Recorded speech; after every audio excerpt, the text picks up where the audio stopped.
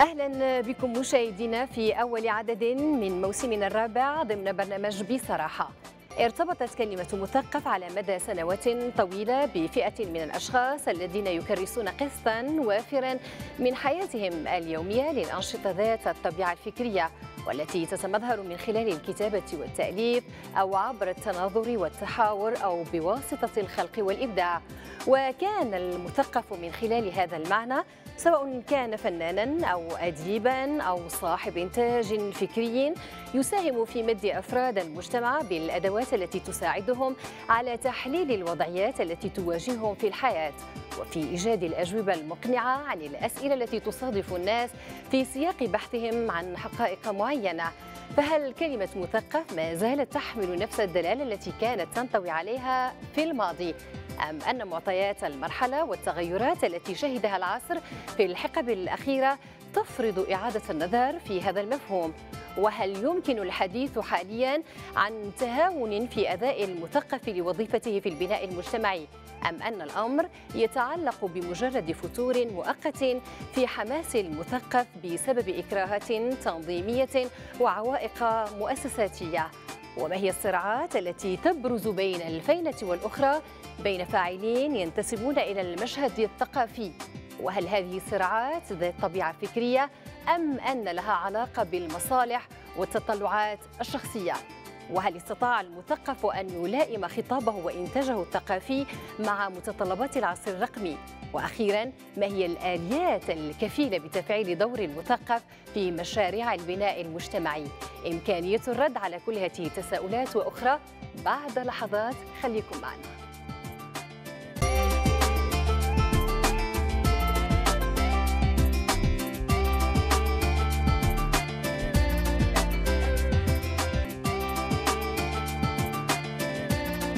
لمناقشة الموضوع مشاهدينا دعونا نرحب بداية مع الشكر الجزيل بالدكتور صلاح بوسريف مدير مجلة الثقافة المغربية الصادرة عن وزارة الثقافة والحاصل على جائزة المغرب للكتاب هذه السنة صنف الشعر.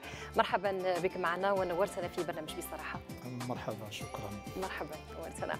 وأجدد الترحاب بمستشار البرنامج الدكتور أحمد الدافي أستاذ التواصل والإعلام. مرحبا بك معنا أستاذ الدافي أهلا وسهلا أستاذة خديجة. مرحبا نورتنا. طيب بداية أبدأ معكم دكتور صلاح فيما يتعلق بالممارسة الثقافية بين الواقع والمأمول. ربما هذه معادلة صعبة في وقتنا الراهن. لكن دعني أطرح وأستوضح معكم دكتور بوسريف في فضاء العلاقة التي تحكم المثقف بالدور بالوظيفة أقصد هنا بالمجتمع. لا تزال هناك ضبابية في هذه العلاقة. كيف يمكن أن نستوضح هذه العلاقة؟ ما الذي يحكم تحديدا هذه العلاقة التي تربط المجتمع المثقف بالوظيفة؟ أنا لا أو دور المثقف؟ أنا لا أعتقد أن هناك ضبابية لأن حين نتحدث عن المثقف تاريخيا كان مفهوم المثقف غير موجود. نعم. كان في الثقافة العربية عندنا مفهوم الفقيه. مفهوم الفقيه الذي كان يلعب هذا الدور اجتماعيا واقتصاديا وسياسيا وكان ينخرط في المجتمع ويحل قضايا الناس ويتدخل في حل هذه المشاكل وبالتالي في التوجيه في التربية في التنوير في توضيح الأمور. مفهوم المثقف الذي سيظهر بشكل خاص مع يعني في, في العصر الحديث هو مفهوم جديد. مفهوم لم يكن متداول لم يكن معروف. وبالتالي ظهر في فرنسا خصوصا في قضية الضابط دريفوس الذي اتهم بأن بالخيانة وهو ضابط كان في الجيش الفرنسي وهو يهودي في أصله. وسيتدخل المثقف لإيميل زولا كمثقف سيتدخل بمقال شهير معروف جاكوز يعني اتهم وفي هذه الحالة أعاد الاعتبار للضابط وخلق نقاش ثقافي حول قضية نعم. معينة فأصبح المثقف في إطار الصورة واضحا وبدأ يتدخل في القضايا الاجتماعية والسياسية والاقتصادية وحتى التعليمية والتربوية. فيكتور إيغو كان أيضا يتدخل. ولماذا أنا أعود إلى فرنسا هنا؟ لأن فرنسا هي المرجعية الأساسية التي نحتكم إليها. نحن بحكم القرب الجغرافي وبحكم اللغة الثانية التي نستعملها في ثقافتنا أو اللغة التي من خلالها نشرف على هذا الأفق الثقافي الجديد. في المغرب آه، تاريخ الحركة الوطنية آه، سنكتشف داخله عدد من المثقفين الذين لعبوا دورهم كمثقفين قياديين. أشير إلى آه، عبد الله إبراهيم أشير إلى المهدي بن بركة أشير إلى علال الفاسي أشير إلى المختار السوسي أشير إلى هؤلاء الناس وغيرهم يعني كانوا مقاومين اتخذوا وضعية معينة لمواجهة الاحتلال الفرنسي ولكن من موقع المثقف.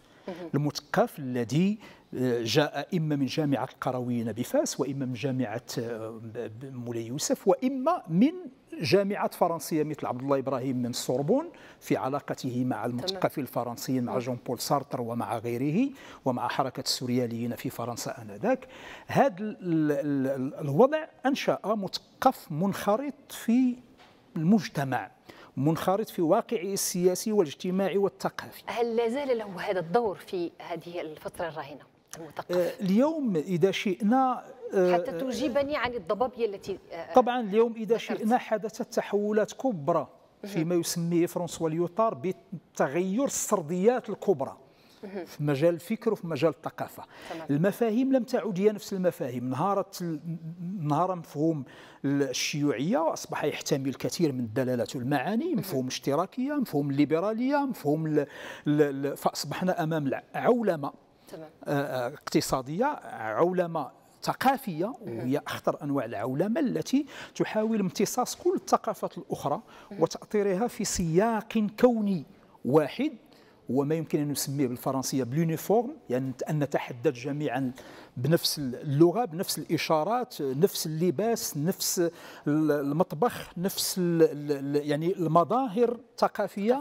ينبغي أن تتخذ وضعا مختلفا. هذا سيؤدي إلى أن مفهوم مثقف في العالم العربي وفي المغرب, وفي المغرب بشكل خاص اتخذ وضعا آخر لماذا؟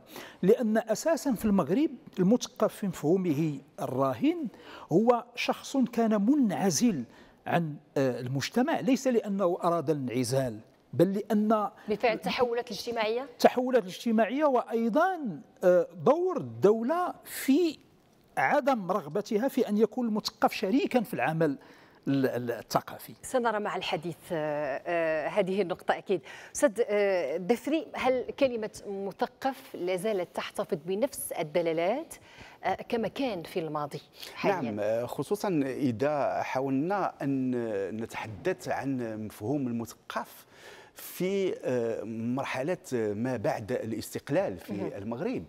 لأن آه، المثقف آه، في الذاكرة المغربية سواء الطلابية أو الطبقة المثقفة آه، بشكل عام هو المثقف هو ذاك الشخص الذي يكون له رصيد معرفي من خلال القراءة من خلال الممارسة السياسية ومن خلال كذلك ممارسة أكاديمية داخل المؤسسات التعليمية إما في الجامعة أو في التعليم أو له ارتباط ببعض المؤسسات المنتجة لخطاب إعلامي أو خطاب اقتصادي رؤية اقتصادية للبلد. وكل هذا كان يندرج دائما في إطار واحد المنظومة سياسية معينة. لأن مفهوم المثقف دائما كان مرتبطا بمشروع مشروع مجتمعي يقوم على محاولة تغيير والتغيير في اتجاه لما يأمله المثقف بناء على ما كان يصلنا في المغرب من حركيات في الخارج. مثلا كانت حتى على مستوى التنظيرات.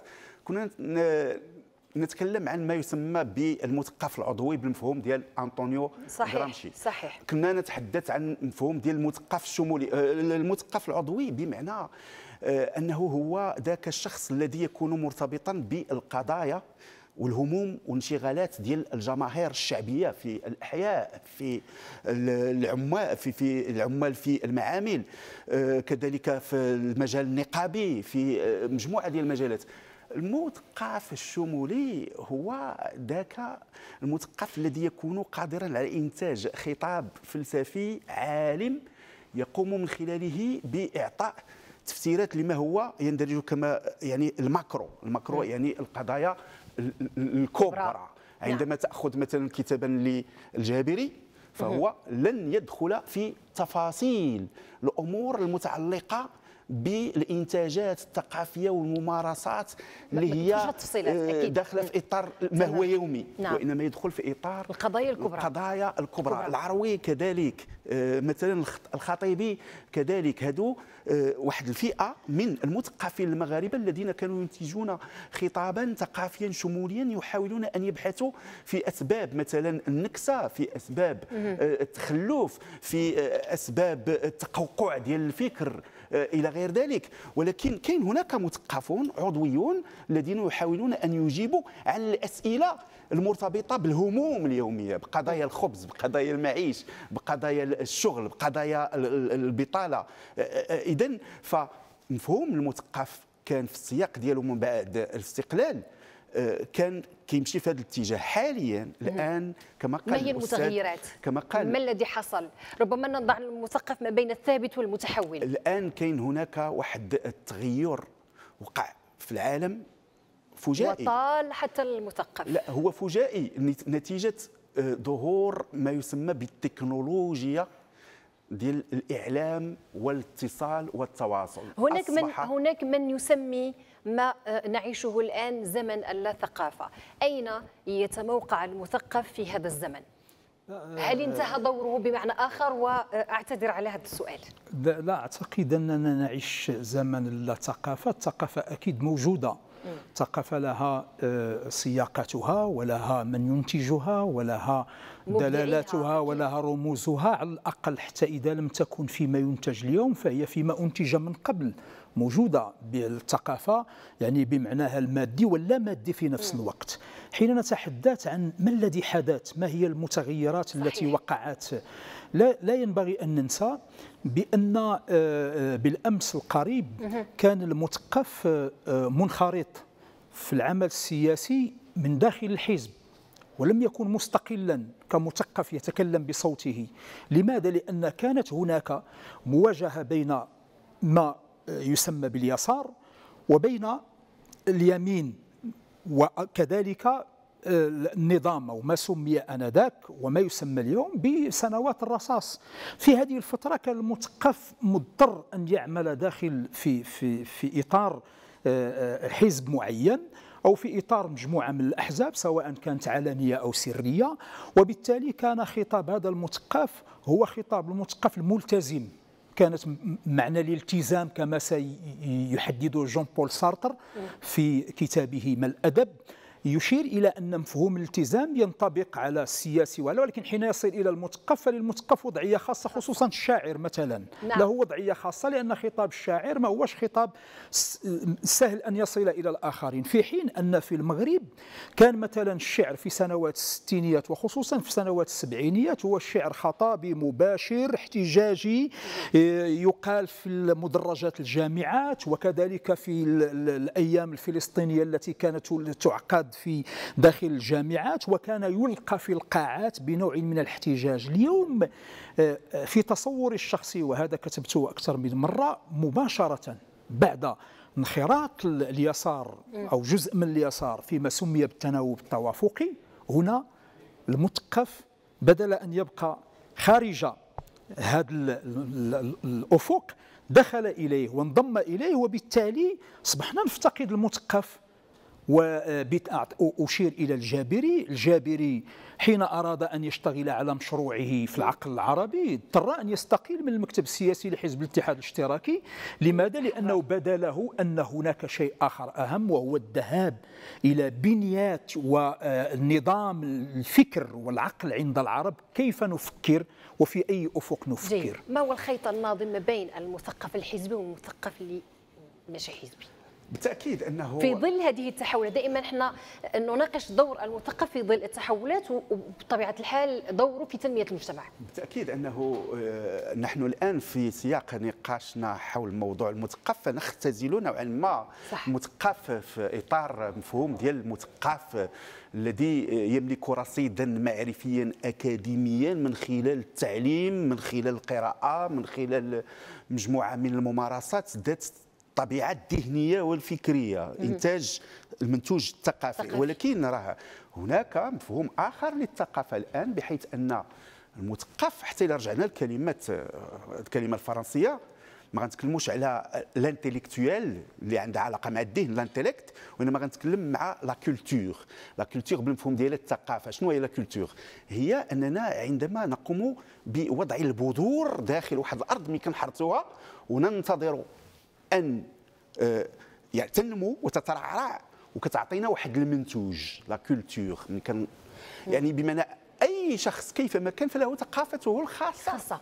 انطلاقا من المدخلات والمرجعيات وما ادخله في ذهنه لذلك نقولوا ثقافة مجتمع كيفما كان. صح. عندنا مثقف إحنا مثقف مرتبط ببيئة اللي هي عندها ثقافة معينة. ثقافة هي رؤية للعالم. هي محاولة تفسير كل ما هو مرتبط بالوجود ظواهر. بناء على المرجعية من أجل إيجاد الحلول لتلك الوضعيات التي يعيشها من أجل خلق واحد النوع من الانسجام بين الشخص وبين ذاته. فهو يستعمل أدوات وعتاد معرفي ثقافي. كيفما كان حتى وكان فلاح حتى ولو كان الصناعه التقليديه فهو عنده ثقافته الخاصة. ويمكن أن حتى المثقف اللي هو عالم أكاديمي إذا جالس هذا النوع فئه من الناس ربما سيستفيد منهم الكثير فيما يتعلق بهذه الأمور. نعم. آه كنظن ما جاوبتكش على السؤال اللي هو لم تجيبني بعد. لم تجيبني بعد. سياق الأشياء التي قالها السيد دافيري. هنا أشير إلى أن ما أشار إليه فيما يتعلق بالمثقف لابد أن نضيف إليه أن ليس بالضرورة المثقف هو الذي يقرأ ويكتب. الثقافة في مفهومها الأنثروبولوجي العام راه الثقافة ترتبط باللباس ترتبط بالطبخ صحيح ترتبط بالعادات والتقاليد ترتبط بالمعمار وبالعمران ترتبط كذلك بالمآثر التاريخية ترتبط صحيح. بالمنتجات الرمزية لأن المثقف هو شخص ينتج الرموز والدلالات والرموز والدلالات هي الأكثر تاصلا وبقاء داخل المجتمع. المثقف هو صانع للتاريخ وأحد محركاته. بدون شك. يعني هو الإنسان. هو الإنسان. نعم. آه لازلت آه أنتظر إجابة عن ربما الخيط الناظم ما بين المثقف الحزبي والغير الحزبي. بالنسبة للمثقف الحزبي فهو بالنسبة لي أنا تجوز مع آه، الزمن لماذا؟ لأن آه، لم يعد الوقت كالوقت بمعنى الزمن م. تغير في فترة ما كان العالم يسير وفق قطبين متصارعين على المستوى الفكر والذهنيات هناك فكر اقتصادي سياسي يقوم على التأمين وعلى آه، ما يسمى بأن السلطة في يد الحزب الواحد الذي يتحكم في مصير أشخاص وناس وأمة وهناك مجتمع اللي هو يقوم على مفهوم الرأسمالي الذي تحول فيما بعد إلى رأسمالية متوحشة تدخل في إطار صراع من أجل الاغتناء. وكانت واحد الفئة ما يسمى بالعالم الثالث. الأول مع الثاني في صراع والعالم الثالث. كان آه، في تلك الفترة من الضروري أن تأخذ موقفا من هذه المنظومة العالمية. إما أن تكون إما من في, في الاتجاه ديال اليسار أو كما قال الأستاذ اليمين نعم. أو أن تأخذ موقف الوسط أو ما يسمى بالمحافظون. الان ما بقاتش مسافة ما بين اليسار واليمين والمحافظون. تقدر تلقى واحد اللي هو آه، يمكن أن يدعي بأنه حداثي مفهوم الحداثة. ولكن مع ذلك الإنتاج ديالو السلوكي. لا يمت بصلة بالحداثه كنقول الانتاج السلوكي, سلوكي ما يتمظهر نعم سلوكي نعم. لا علاقة له بما هذا المفهوم ديال الحداثة. تقدر تلقى واحد الشخص ربما يقول بأنه يساري ولكن مواقفه وعلاقته مع المجتمع ومع تلقاه بأنه بعيد كل اذا اذا نحن أمام شخصية انشطاريه هنا. لا, لا, لا ليس شخصية انشطاريه لأن آه، طبيعة التفكير تقتضي أن نختلف والاختلاف يتأسس لا نختلف نختلف لا نختلف لم... انطلاقا من القناعات م. فأنا قد أنتمي إلى اليمين أو اليسار أو إلى الوسط انطلاقا من طبيعة الفكر نعم. الذي كان هو الأساس في تربيتي وفي تكويني نعم. وبالتالي فأنا سأدافع عن فكرة اليمين وأنا أنتمي إلى هذا اليمين علال الفاسي حين آه، نعود لنقرأ كتابه النقد الذاتي الذي. يعتبر من بين أهم الكتب وقد صحيح. أعيد طبعه وتحقيقه مؤخرا من طرف السي سعيد بن سعيد العلوي وصدر هذا الكتاب كان أكثر يعني تقدما في طرحه للقضايا الاجتماعية فيما يتعلق بالتعليم بوضعية المرأة آنذاك وفيما يتعلق كذلك بالحق في التعبير وفيما يتعلق بمجموع القضايا الاجتماعية على الفاسي من اليمين. حين نذهب إلى اليسار نجد كذلك آه، عبد الجابري الذي كان آنذاك كتب آه، عن مشاكل التعليم في في المغرب من منظور آخر. ولكن في لحظة ما يلتقيان لكن الذي يحدث اليوم ما هو؟ هو الالتباس والغمامة التي هذه هي الضبابية التي ذكرتها في البداية. يعني هناك هناك, صحيح هناك التباسات كثيرة وقعت في مفهوم المثقف. صحيح. فالجابري في في كتاب له آه، حول المثقف والمثقفين يقول المثقف هو كل من يعرف الكتابة والقراءة ويدخل داخل مفهوم المثقف رجل التعليم ومن يدرس اللغة. ولكن هذا المفهوم أنا شخصيا لا أتفق معه. لماذا؟ لأن المدرس أو الذي يكون في القسم فهو يدرس ويبلغ ويعلم ولكن لا يمتلك خبرة المثقف الذي ينتج الفكر ويطرح الأسئلة ويعيد النظر في القضايا. علاقته بالإنتاج المثقف علاقة له علاقة وطيدة بالإنتاج. هنا هنا أتساءل معكم أستاذ آه، صلاح. المجتمع ما نتحدث عن المجتمع المجتمع والمثقف. هل هل ترى هناك ثمة علاقة ديال تقابل تنافر تكامل في هذه الفترة؟ كيف تراه؟ شوف أنا بالنسبة لي اليوم في هذه اللحظة التي مع نتحدث فيها الآن هناك هل هو متصالح مع المجتمع؟ لا هناك هو حدثت بين المثقف وبين المجتمع مجتمع. هذه الهوة نتجت عن كون أن خطاب المثقف في أغلبه بقي أكاديميا يتحدث بمفاهيم وبتصورات علمية ولا يتنازل عن مفهومه للمعرفة والعلم ولم يستطيع أن يخاطب المجتمع. تأثير محمد عابد الجابري والقاعدة الواسعة في العالم العربي وفي غير العالم العربي وأعماله بدأت تترجم إلى الألمانية مؤخرا. نعم. جاءت من كون أن الجابري رجل كان صحافي وكان آه، مديرا في التعليم الابتدائي بمعنى يملك القدرة البيداغوجية على التواصل فكان يكتب بلغة تصل إلى الجميع.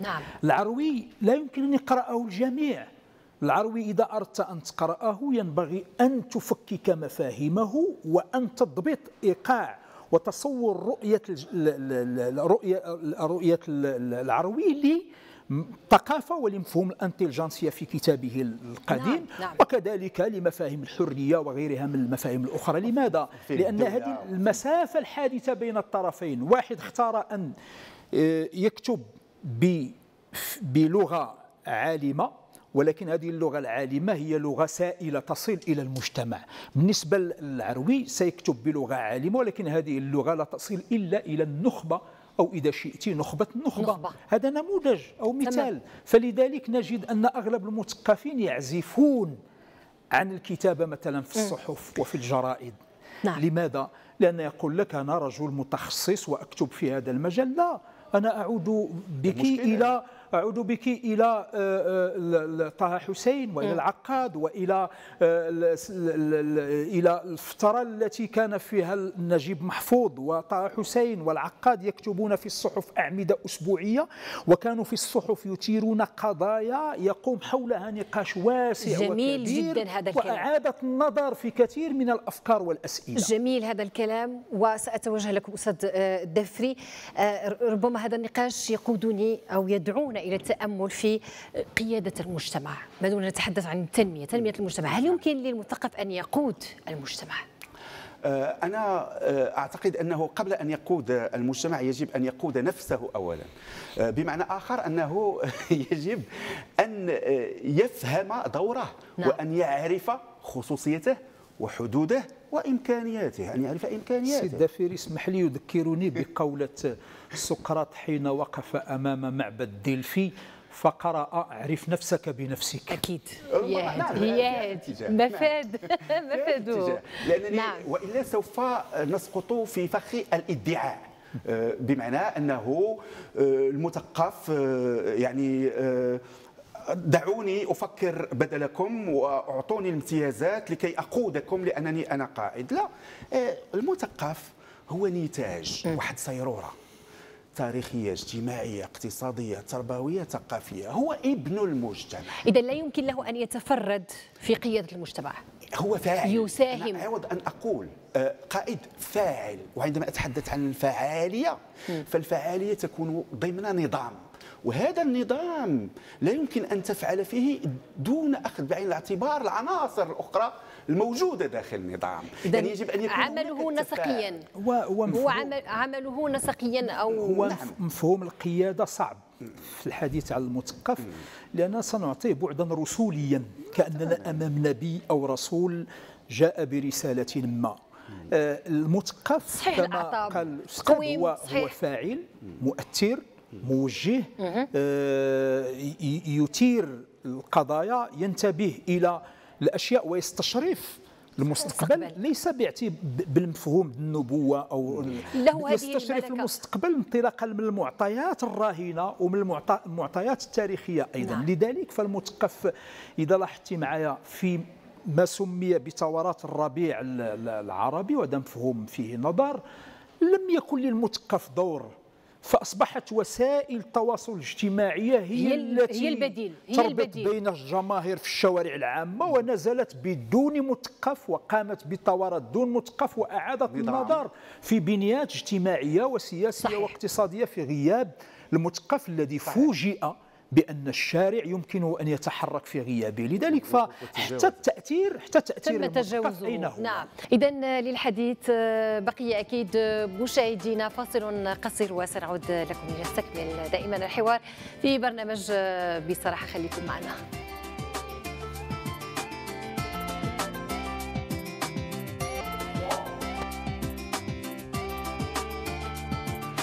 إذا نعود لكم من جديد مشاهدينا ونرحب بكل من انضم لنا لهذا النقاش في برنامج بصراحة نناقش دور المثقف في تنمية المجتمع. وأكيد أرحب من جديد بالدكتور صلاح بوسري. مرحبا من جديد نورتنا. أهلا مرحبا ونرحب أيضا بالأستاذ والدكتور أحمد الدفري طيب أواصل معكم دكتور صلاح فيما يتعلق بالصراع الذي بدأنا نراه في آه، ما بين المثقفين.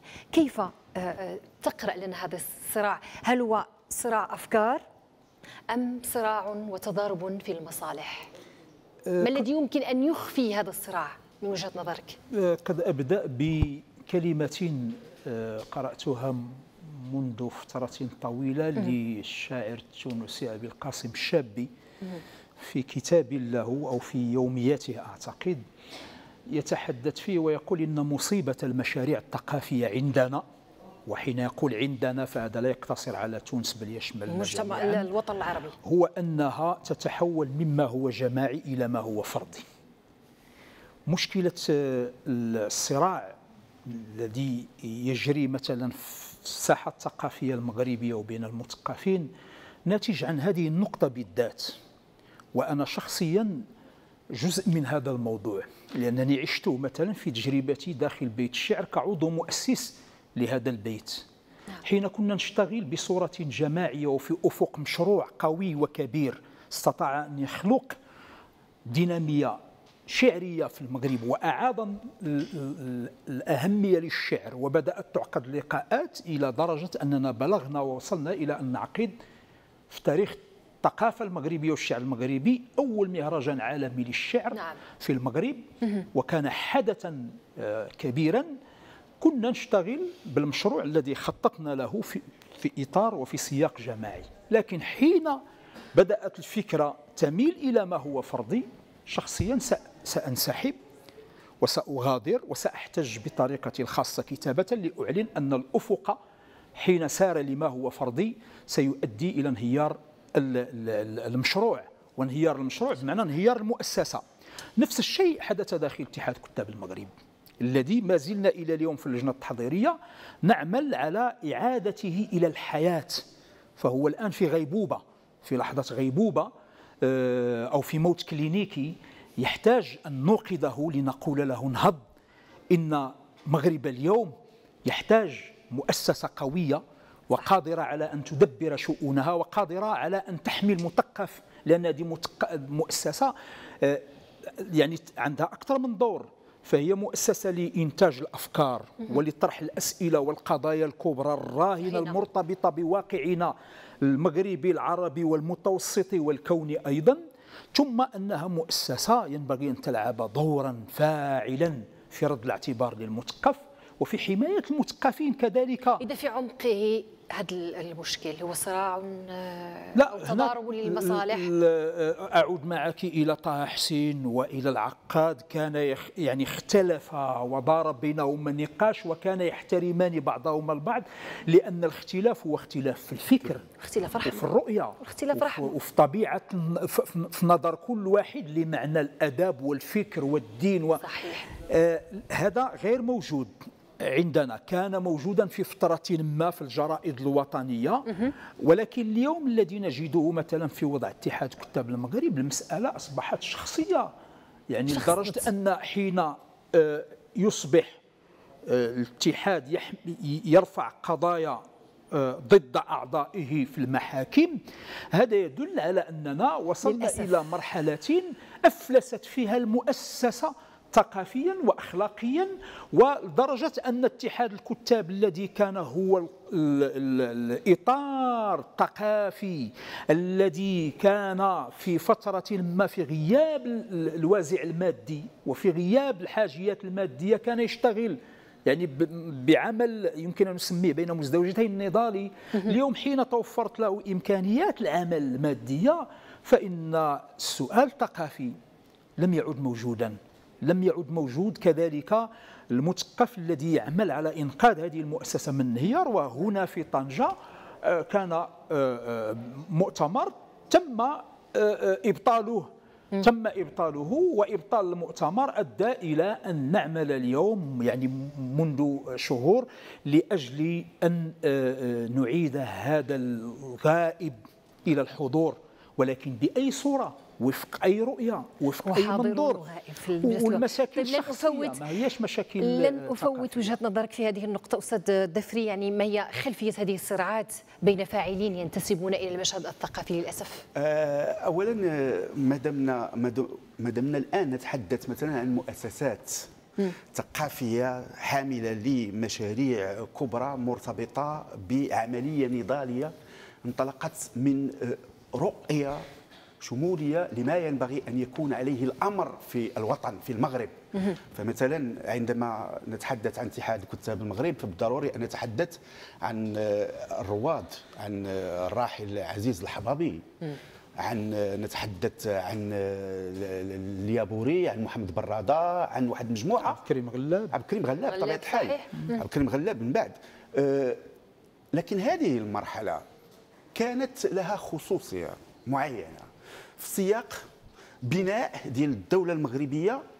كانت هناك واحد مجموعة الأجنحة سياسيا تتصارع. حتى المؤسسة ديال آه، الكتاب والمثقفين في تلك الفترة إذا أردنا أن نتعامل معها في إطار قراءة تاريخية مع أخذ واحد النوع من آه، يعني المسافة بيننا وبين تلك الفترة. وقرأناها. سنلاحظ بأن يمكن أن يكون لها ما لها وعليها ما عليها باعتبار أن الهاجس كان دائما هو واحد الكوطة سياسية يجب أن تكون حاضرة داخل العمل في هذه المؤسسات. كانت أحزاب مهيمنة بحيث كان من الصعب جدا على أن شخص ما يكونش حامل يافطة ديال أحزاب معينة سواء كان حزب الاستقلال الاتحاد الاشتراكي التقدم الاشتراكيه أو شيء من هذا القبيل أن يفرض نفسه أن يحصل على آه، عضوية في المكتب التنفيذي مثلا. هذا كان صعب جدا وهذا واقع صريح. آه، الآن بعدما آه، انتهت حكاية هيمنة الأحزاب ديال اليسار على المنظومة الثقافية داخل البلد. ظهرت آه، صحافة جديدة ترفع شعار الاستقلاليه وتحولت إلى منابر إعلامية للمعارضة. وأصبح آه، جيل جديد يطالب بالتغيير وينظر إلى مجموعة من الذين كانوا يقودون هذه المرحلة. نظرة فيها واحد النوع من الا بغينا نقولوا تحمل كيحملهم المسؤولية ديال ما آلت إليه الأوضاع لأنه إذا كنا نتحدث عن التعليم وعن مشاكل سياسية وعن مجتمع في تراجع ألا يتحمل كذلك المثقف آه، دوره ومسؤوليته فيما وصلنا إليه؟ هل دائما سوف نتحدث عن كون أن الدولة هي التي كانت تحاول أن تخترق أن تقصي أن تخلق صراعات أن آه، تقوم بإلقاء الفخاخ له يعني لا ربما له لا لأنه هل المثقف كان محصنا وواعيا بأن المشروع هو أكبر من الذاتيات هو أكبر من أن أبحث على موقع وزير أو موقع مثلا آه، مستشار اذا اذا هذه الصراعات ما كانتش الطبيعة الطبيعة الفكريه بقدر ما كانت هي عندها فيها ربما مصلحة شخصية أو تصفيه حسابات على ما أعتقد. أنا أعتقد أن الطبيعة الفكرية تقتضي أن, أن يكون لها أثر وهو مجموع الكتابات والأشياء صحيح. التي تنشر والأعمال التي تقال. للأثر. لكن منذ فترة آه، طويلة الاتحاد لم يعد موجود. آه، أصبحت جمعيات آه، حديثة تشتغل بدينامية أكثر من الاتحاد. الاتحاد أصبح يقوم بأنشطة ثقافية des activités culturelles معنى لا يقوم ليس له تصور لما لأن هناك فرق بين النشاط الثقافي وبين المشروع الثقافي. أنت تنخرط في مجتمع صح. ومشروعك الثقافي هو مشروع مجتمعي. آه لم نصل إلى أن نخلق آه آه يعني آه قارئ يقبل على اقتناء الكتب وعلى الذهاب إلى المكتبات العامة والمكتبات الخاصة. ما دام ما كاينش مشروع قراءة عند عند المثقف وعند اتحاد كتاب المغرب جمعيات وأطراف أخرى اليوم تشتغل في هذه المشاريع وتقدم اقتراحات آه، بتعاون مع وزارة الثقافة، وزارة الثقافة تقوم بدعم مشروع القراءة مثلا في هذا السياق، نجد كذلك أن دعم الكتاب الذي تقوم به وزارة آه، الثقافة خلق نوع من من من الرواج الدينامية التي تظهر بكل وضوح في كل سنة في المعرض الدولي للكتاب. وأصبحت كثير من الكتب وخصوصا أن الناشرين المغاربة والعرب عزفوا كليا عن نشر القصة والمسرح والشعر واعتبروا أن الرواية هي السلعه الأكثر رواجا. لكن لولا دعم وزارة الثقافة للشعر والمسرح والرواية الشعر والمسرح والقصة لكانت هذه الأجناس الأدبية انتهت واندثرت وماتت. مادام المثقف يفكر بهذه الطريقة هل استطاع أن يلائم خطابه وأيضا إنتاجه الثقافي مع متطلبات العصر الرقمي؟ خصوصا أن هذا المشكل اللي طرح الأستاذ هو مرتبط بواحد صيرورة عرفها المجتمع بحيث أنه انتقل من واحد آه، البنية خاصة ديال إنتاج المعرفة إلى بنية أخرى مغايرة خصوصا على مستوى الميديا يعني على مستوى الوسائط. كان عندنا الوسيط ديالنا هو الكتاب كان مهم نعم. جدا. الطفل كان يستمتع بقراءة القصص نعم. اللي هي معروفة تربينا عليها. كانت كانت الطفل يقرأ كان الطفل كذلك آه، يذهب إلى المكتبة مكتبة الحي أو مكتبة وزارة الثقافة أو مكتبة الجماعة. كان يذهب إلى السينما. كان يذهب للسينما لأن باعتبار أن السينما فيها حكايات فيها قصص تنتج معرفة.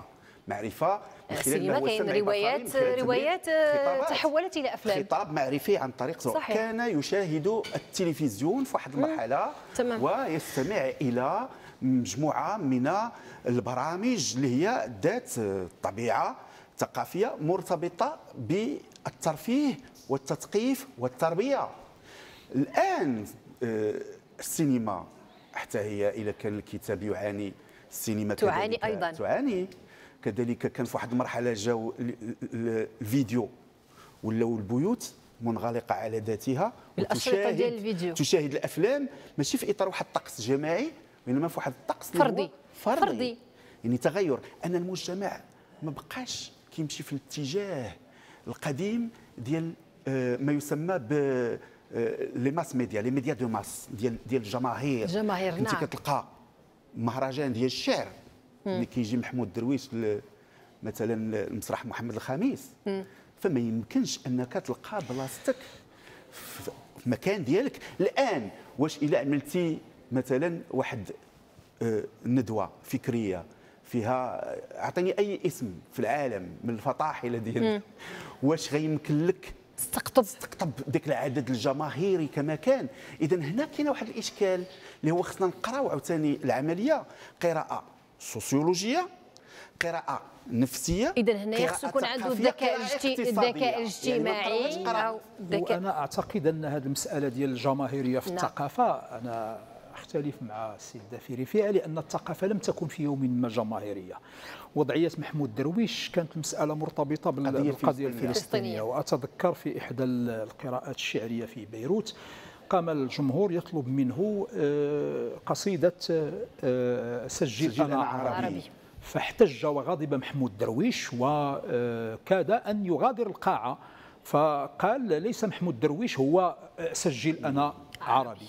وفي نصوصه الأخيرة التي كتبها قبل وفاته بسنوات قليلة أصبح من الصعب على المتلقي أن يستوعب ما الذي يذهب إليه محمود درويش لأنه غير مسار التجربة إلى أفق جمالي آخر. لن تعود القضية فيه ظاهرة بل أصبحت خفية وتحتاج نعم. إلى نوع من القراءة الجمالية الشعرية وثقافة شعرية خاصة. آه كذلك يمكن اليوم أن نتحدث. لماذا لا؟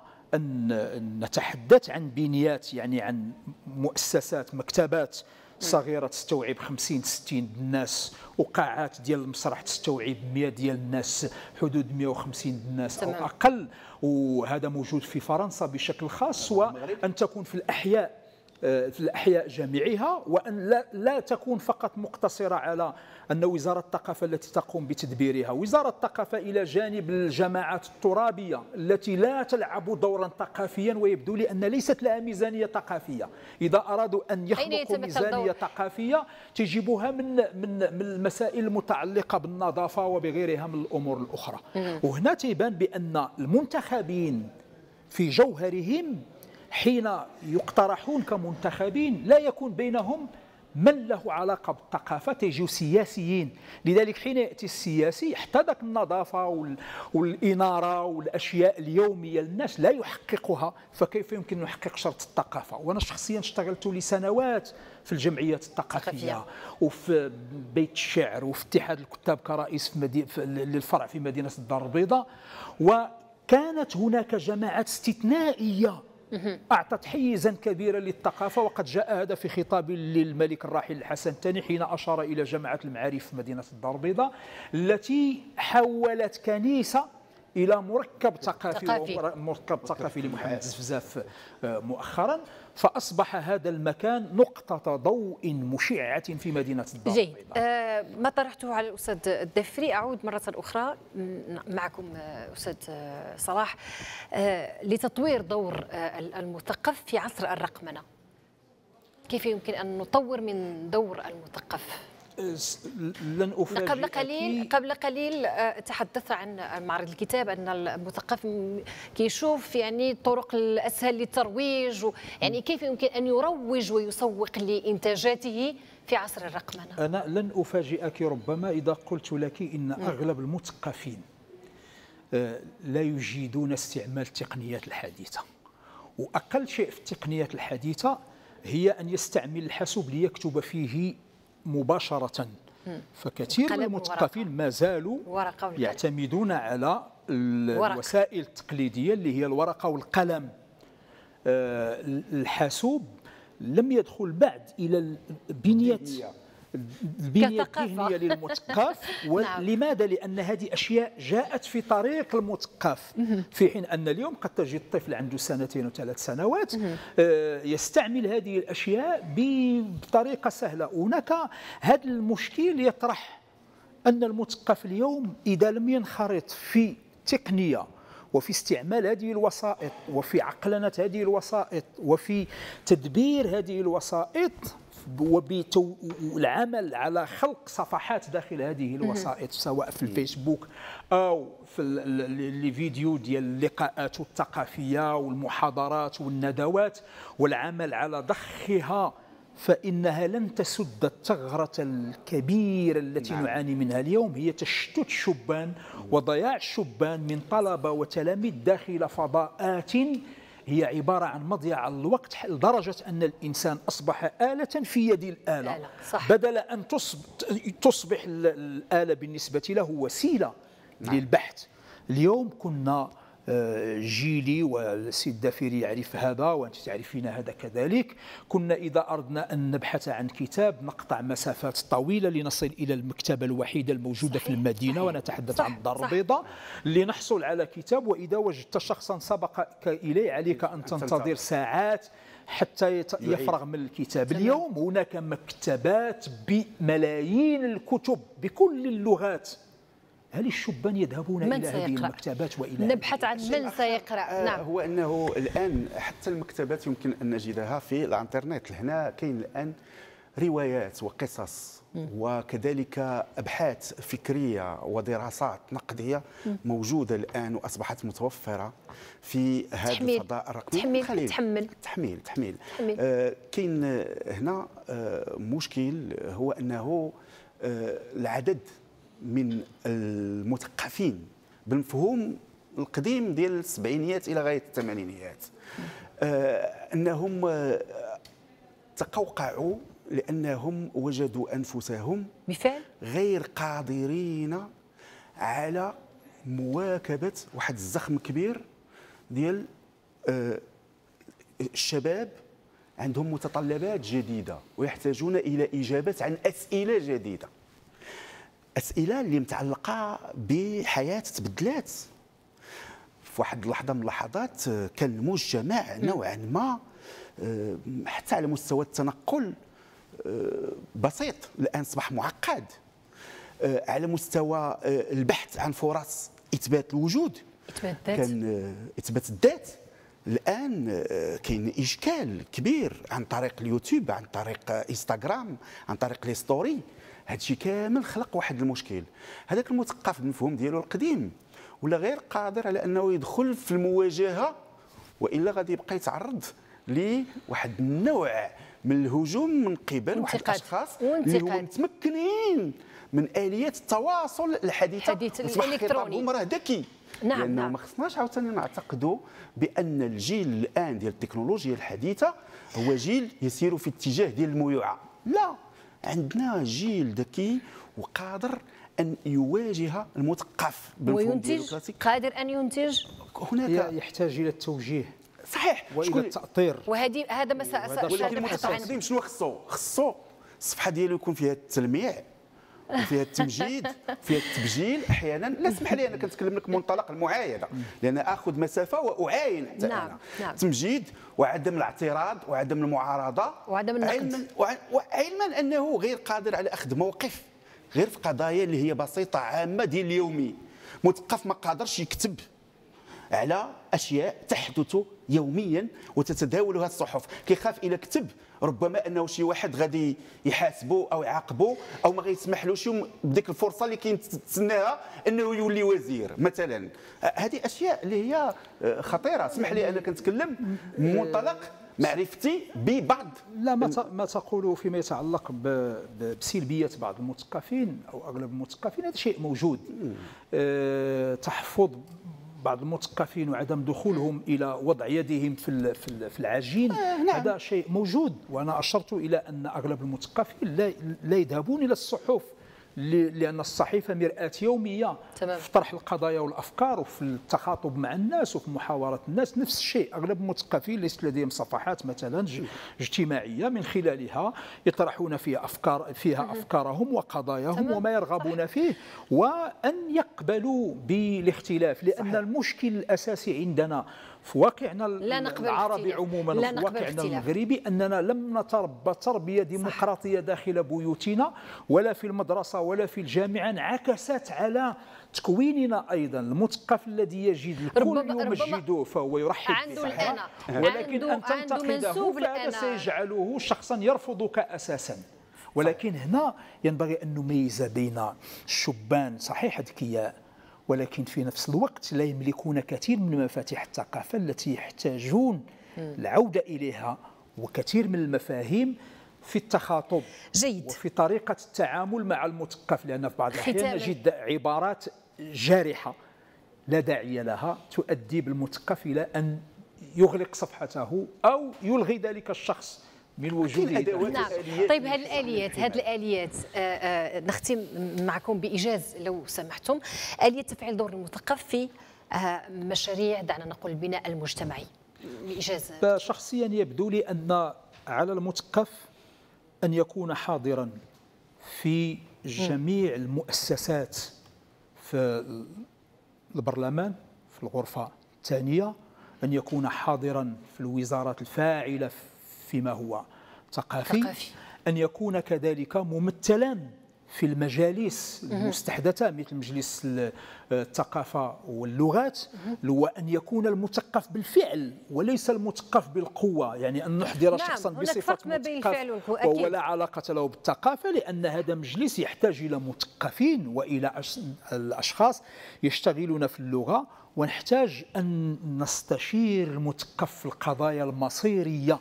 المرتبطة بالقرارات الكبرى التي تتخذ في سياسة الدولة جميل. العامة واسمحي لي كآخر شيء هو أيضا أن تعمل الحكومة انطلاقا من العمل مع وزارة الثقافة على التفكير في سياسة ثقافية تكون فيها توابت وهذه التوابت لا تتغير في حين أنه يسمح بأن نبدع وأن نبتكر وأن نقترح أفكار أخرى جديدة. وصلنا للختام. شكرا جزيلا لكم دكتور صلاح بوسريف على حضوركم على كل هذه الإضاءات.